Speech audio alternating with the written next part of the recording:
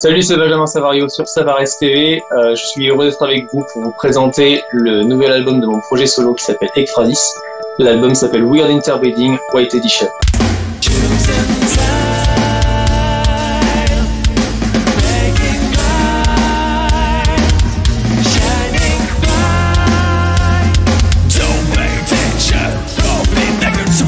En fait, j'avais euh, j'avais envie de, par le biais d'Exphrasis, de ne pas me mettre de barrière sur le plan stylistique. Voilà, je suis euh, j'ai bourlingué un peu dans plein de plein de styles différents, que ce soit le jazz, le metal, la pop, euh, voilà, par beaucoup de projets. Euh. et en fait, je voulais réussir un peu à synthétiser tout ça autour d'une esthétique quand même assez assez métal en termes de son, on va dire. Et en gros, bah, ce projet, bah, je me suis pas mis de pas mis de barrière. J'ai voulu mêler mêler toutes ces influences là et euh, ça, ça a permis justement d'avoir un album qui euh, qui, euh, pour les premières critiques que j'ai eues, qui a été quand même assez bien reçu d'ailleurs. ça a étonné beaucoup de gens parce que ce, genre de métissage se fait, se fait très très peu. Voilà, donc, donc plutôt content et satisfait des voilà, des premiers, des premiers retours.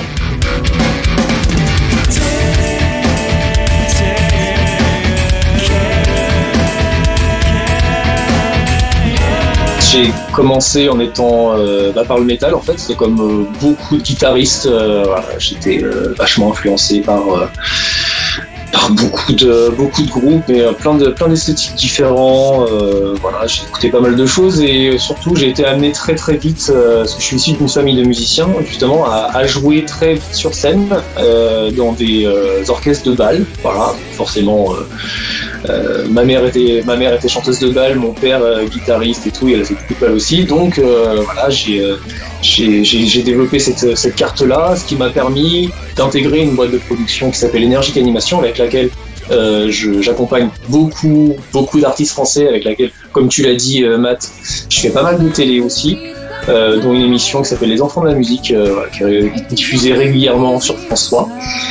Euh, voilà, j'accompagne énormément d'artistes en dehors de cette émission. Euh, j'ai accompagné euh, Natacha Saint-Pierre, par exemple, et également plein d'autres artistes bah, nationaux et internationaux. Bah, j'ai accompagné Marc Lavoine sur l'émission.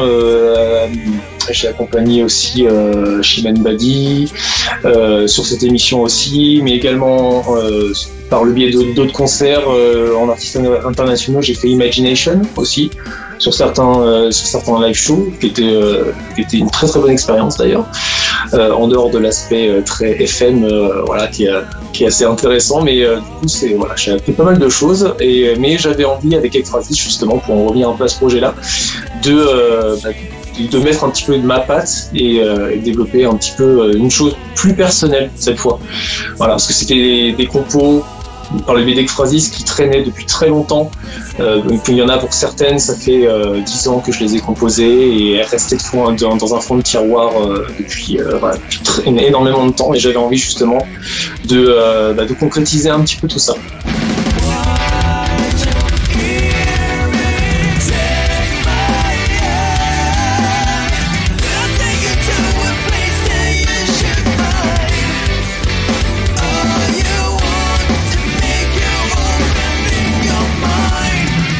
Au, départ, euh, Weird Interbreeding, euh, voilà, c'était un one-man band. Et puis au fur et à mesure euh, des retours, bah, je me suis dit euh, pourquoi pas essayer d'aller un petit peu plus loin. Et du coup, je me suis mis à démarcher des labels. Mais j'ai eu un très très bon retour de Unicorn Digital, label canadien. Qui a qui a signé entre autres enfin c'est le label du guitariste Mystery qui qui fait un peu voilà qui est assez connu dans le euh, le, groupe Mystery, euh, un groupe progressif canadien qui est quand même assez connu. Et euh, ils ont signé également Derek Swimmer, le guitariste de Genesis, pour son projet solo. Voilà, donc du coup, du coup, ça leur a permis de, bah, de, s'exporter un petit peu plus. Et ils m'ont fait une proposition assez intéressante que, bah, clairement, qui m'a qui m'a convenu à 100%. Et du coup, on a travaillé justement sur une nouvelle édition de de Weird Interbreeding. Je viens de rentrer dans un projet qui s'appelle Glass Castle.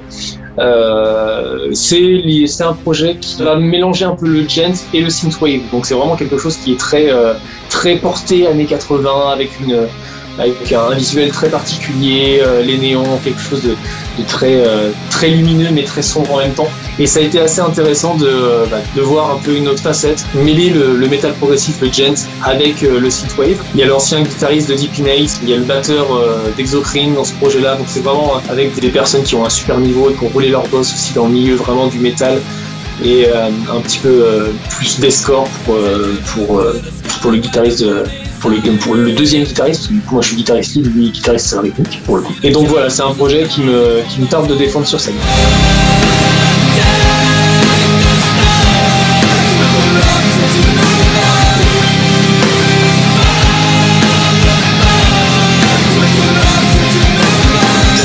et euh, c'est vraiment euh, un, cadeau que, m'a fait Vola. C'est un très très beau cadeau.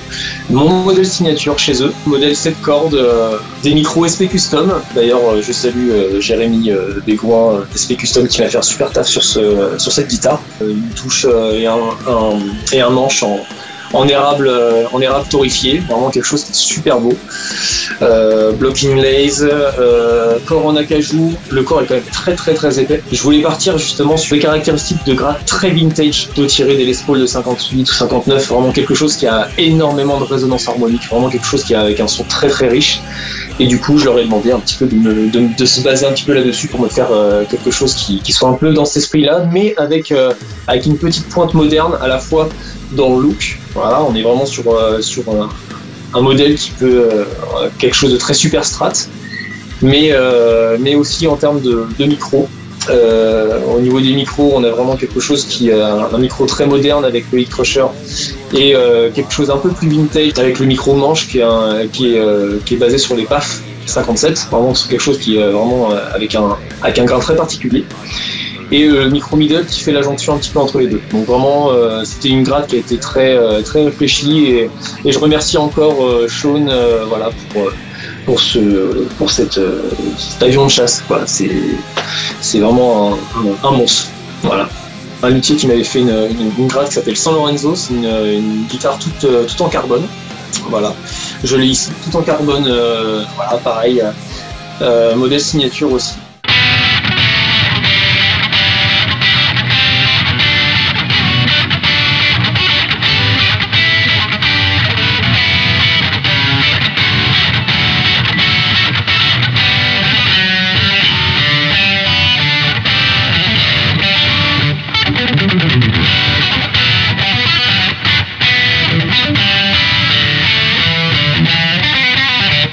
Pour les Savarez, euh, en règle générale, j'utilise euh, beaucoup de focus. Voilà, parce que je trouve que leur, euh, la, couleur des focus est assez intéressante. On a quelque chose qui est, qui est assez puissant en termes de, en termes de résonance. Qui est, on, a, on a beaucoup de, beaucoup de réponses en termes de fréquence.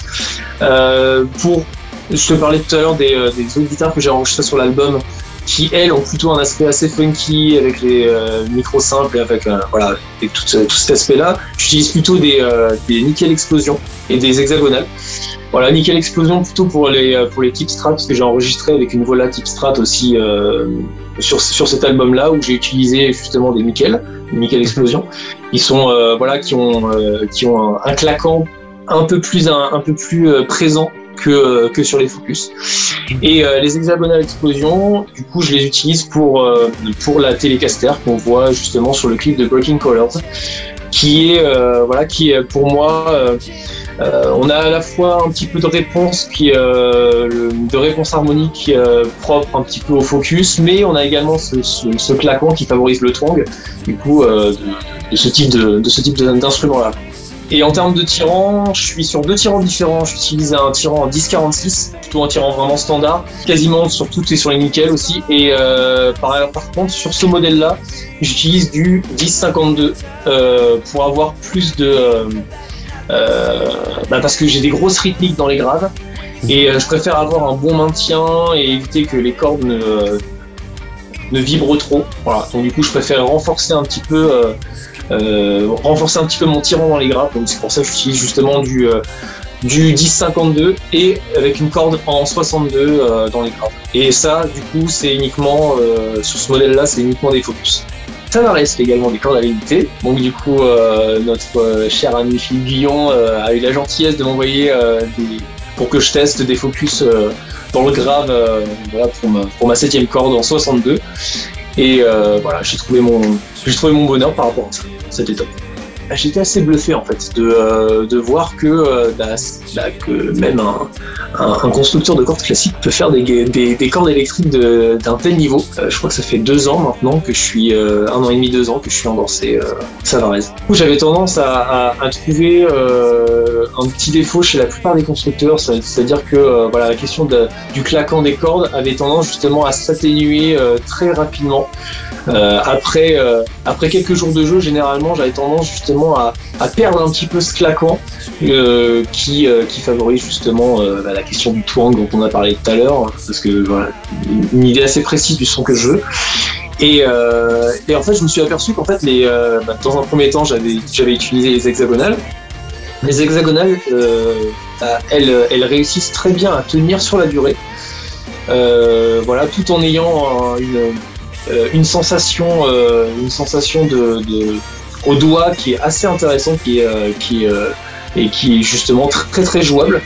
Alors chose euh, avec par rapport par rapport au focus, parce que j'ai essayé les focus juste après les hexagonales, j'ai du mal à accrocher au début au niveau des focus parce que elles accrochent énormément au doigt. Mais cependant, au fur et à mesure qu'on les utilise, bah, en fait ça, devient quelque chose d'assez d'assez nécessaire. Euh, notamment lorsqu'on est euh, lorsqu'on lorsqu'on est gratteux euh, gratteux mais plutôt type shredder c'est-à-dire où on a tendance à aller très vite et tout etc et justement ça favorise justement le maintien le maintien et la technique voilà par rapport à par rapport à, cette, à cet alliage qui est très particulier dont Philippe m'avait parlé qui est propre au focus et, euh, et pareil, toujours propre, au, propre à Savarez en termes de, de cordes électriques, vraiment une longévité qui est très particulière et justement qui, euh, qui dure vraiment sur la, enfin, qui dure vraiment dans le temps. C'est le, pour moi le meilleur compromis euh, pour moi entre Nickel Explosion, Hexagonal Explosion et Focus.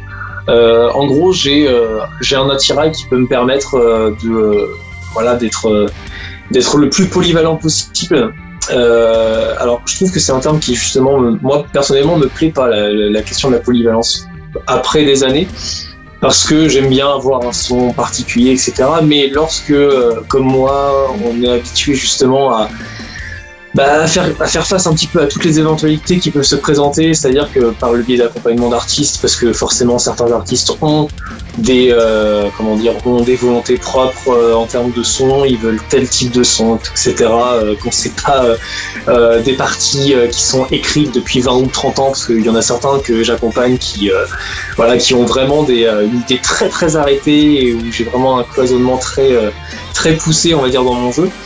Mais euh, justement, Savarez m'a permis justement d'avoir euh, de, pallier à toutes ces éventualités-là, euh, voilà, en termes de en termes de son et en termes de rapport de fréquence, comme tu l'as dit dans le mix, parce que justement, ça m'a fait. J'avais l'habitude de mixer mes guitares avant avant d'être Savarez et me prendre la tête au niveau du mix. Et au fur et à mesure, bah, en, en ayant enregistré Weird Interbreeding la White Edition et même la, première édition que j'avais euh, que j'avais diffusée euh, moi-même sur les réseaux. Euh, bah en fait, j'ai eu que très très peu de travail de mix, euh, mis à part certaines fréquences que, bah, que forcément elles sont, elles devaient être légèrement corrigées, mais que ça qui a, qui a absolument rien à voir avec l'instrument, mais plutôt en termes d'homogénéité sonore. justement, le, là j'ai eu un un, travail beaucoup moins important à faire euh, par rapport à, par le biais de l'utilisation des Savarez.